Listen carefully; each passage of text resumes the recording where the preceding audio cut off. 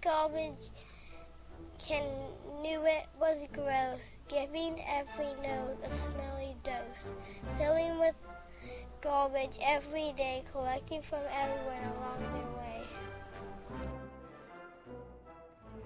But one garbage can stood alone, getting no garbage, even not even a bone.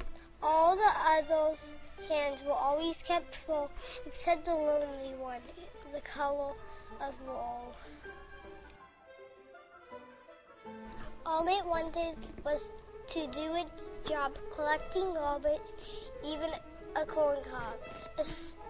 So if there's a can with nothing in it, fill it till nothing else will fit.